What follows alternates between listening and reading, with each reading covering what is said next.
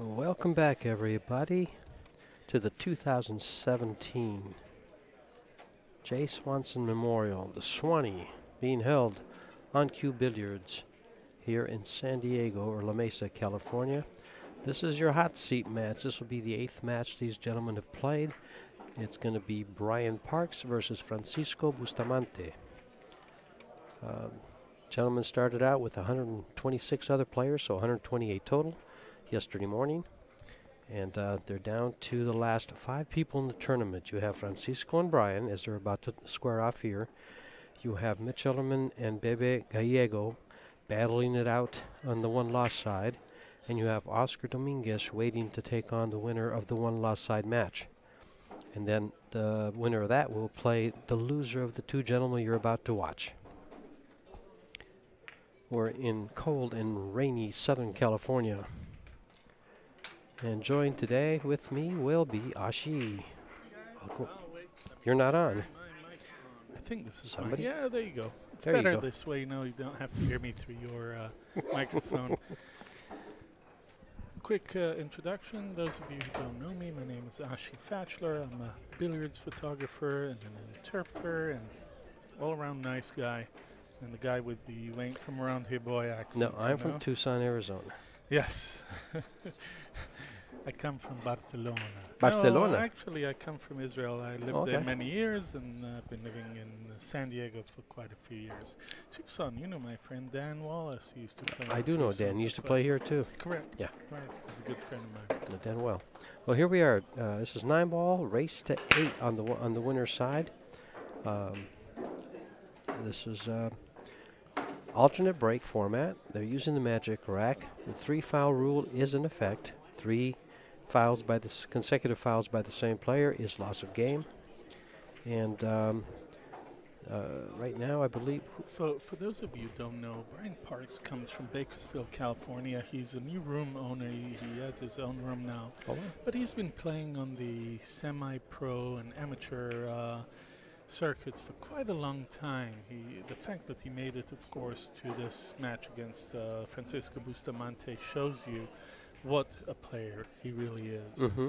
Mm-hmm. And uh, he, I think he just won uh, for the fourth time the APA Amateurs. He's, he's a very good player uh, out of Bakersfield, California. Well, I'll, I'll uh, second that motion because I actually played him last night, and he was my first loss on the on, on the winner side. But as the Fargo rating shows, He's a 704, he's a 704, you know. huge uh, underdog. Yep. Because Francisco is almost a hundred point um, superior player, and when you're a hundred points uh, difference, you're almost twice as good. So actually, Fa- uh, Fargo rate would say that a good match here would be eight to five. Eight Give- four, eight giving five, up- yes, given, giving up given three games. Sure. But we'll see how it actually um, works out. Francisco's had a very strong tournament. He's played seven matches. One person got to three games. Uh, the rest got to one. So basically, it's been 8 1, 8 1, 8 3, 8 1, 8 1, 8 1.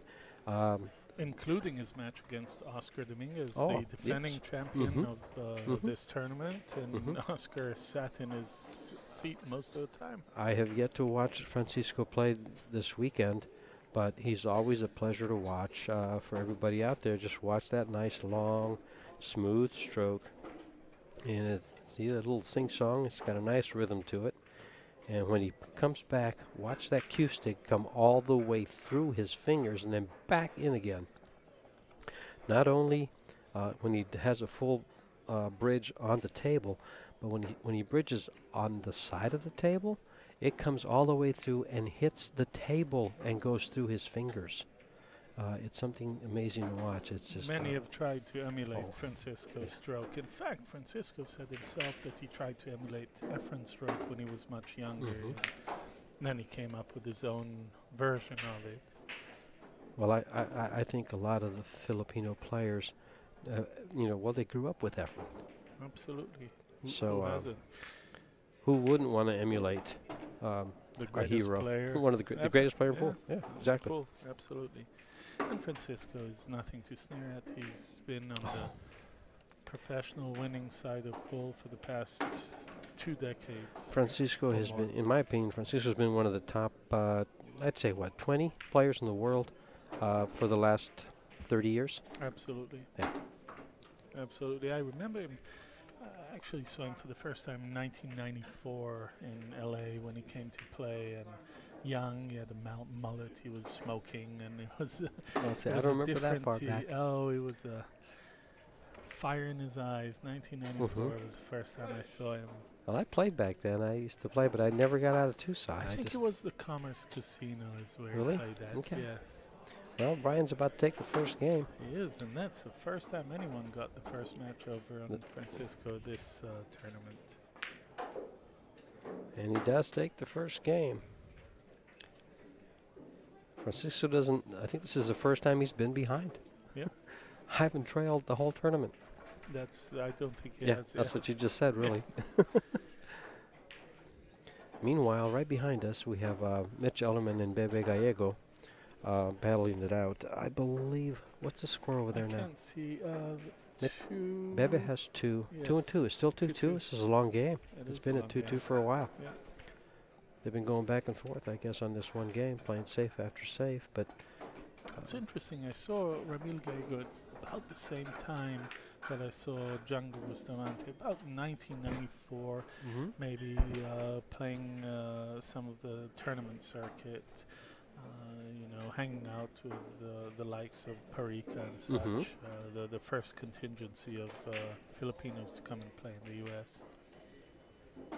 Bustamante I didn't- breaks. I didn't recognize him. I, I, I don't, uh, I've never met the gentleman before or even known of him. Um, we came in Friday evening from Tucson, and uh, Mitch ended up playing him for, uh, they, they played for 100 a set. Uh, and they went back and forth, back and forth, ended up even.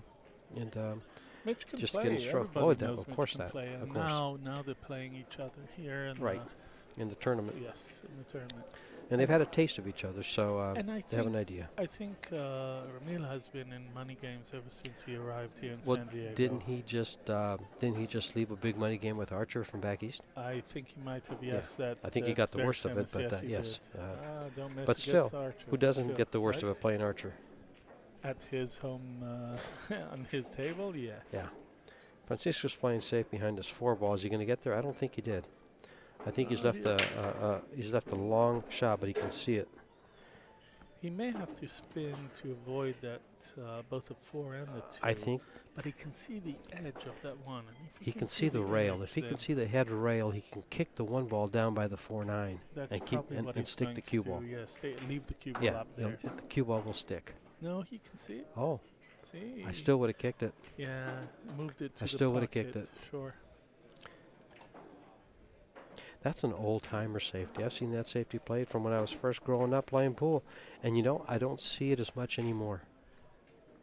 A lot has changed. Uh, Maybe styles have Mhm. changed, strokes have changed. You know, when you played, there was not no such thing as a Filipino stroke. I take it when you were Uh, younger. No, they well that's no, they were around. I mean, I I started playing pool when I was 15. I'm about to turn 65, so I've been playing pool for about 50 years. Rather unsuccessfully, but I still like the game. You're still trying. I trying, still try. That's right. But um, um, or at least that's what you tell everyone you Mhm. play, right? that's I well. don't know how to play. I never said that. I've never said that. I know what goes where, but I just don't do it as often, or I don't do it like I'd like to. Let's put it that way. I was mentioning earlier that it, uh, from watching uh, Francisco play, you can always tell when he's very comfortable when he leaves his reading glasses On in the head? middle of his forehead. You know he that does. he's playing He does that a lot. He does. He, He does, does that that now more often than not. Are they reading glasses or uh, or, or their vision glasses? I think they're reading glasses. I'm not sure. I, I'm pretty sure. I, I see him with them. glasses, I see him with them on a lot. So Yeah. yeah. Well, he reads stuff. yeah, Plays chess. But- it looks like we're going to have uh, game number one for Francisco on the board. So we'll be all tied up at one. Now, will he draw this or follow with three rails? he wants to draw two rails, actually. Yeah, see, two Oh, rails. just one. Yeah. Well, come off the one. rail, Correct. There we go. center rail, and perfect Mhm. position. And just with that, the score is tied 1 1. Francisco doesn't care who he's playing. He's playing his Nope. own game. It doesn't Mhm. really matter who he's Mhm. playing against.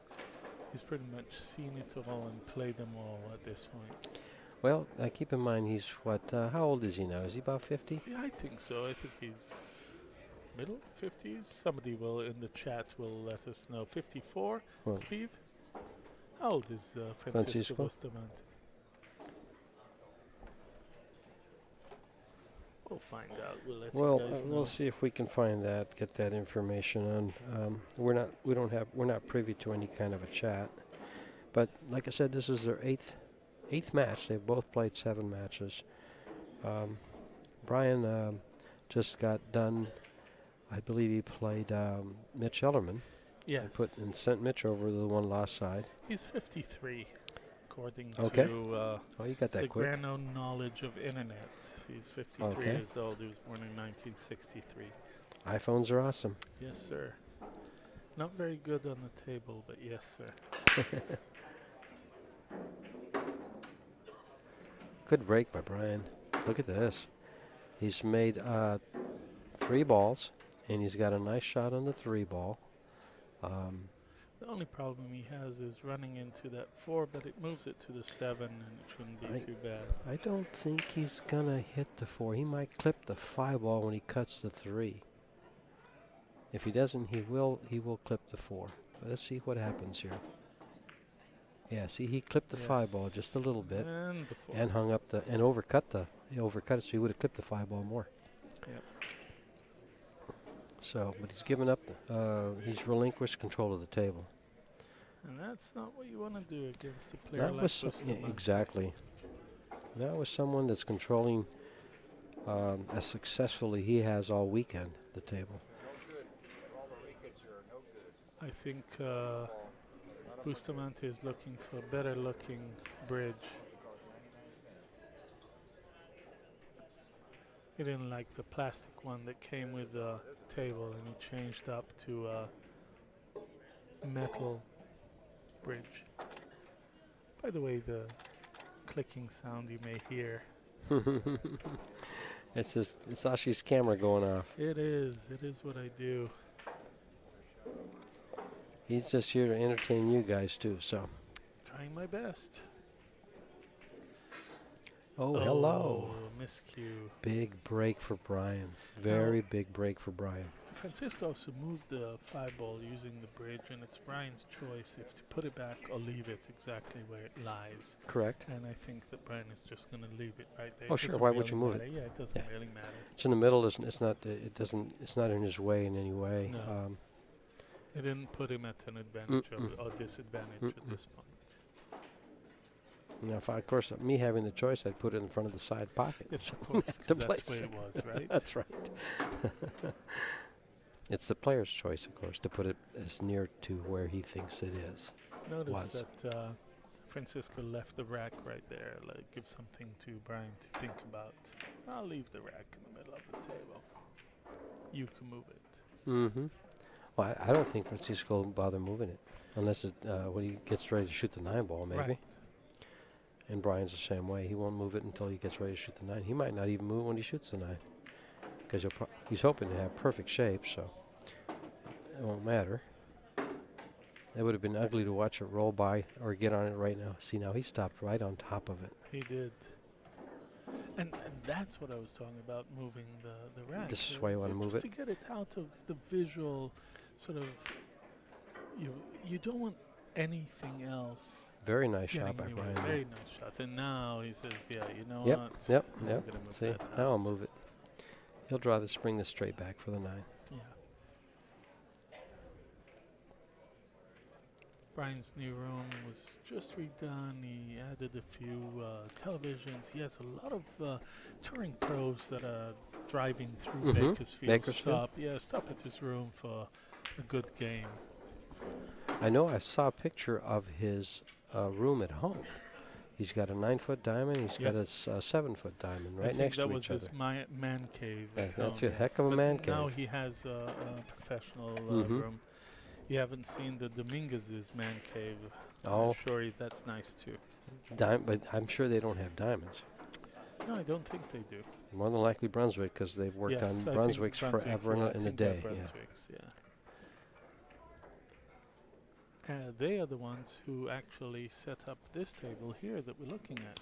I. This is a Dominguez table. hmm Your typical four-inch pockets, um, Brunswick with four-inch pockets, um, and I will say one thing: they're all cut perfect.